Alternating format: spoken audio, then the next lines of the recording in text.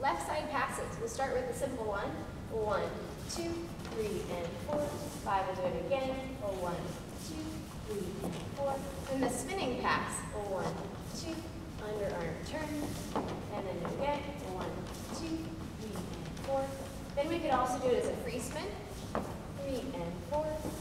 And then the leads have an option to do a free spin turn themselves.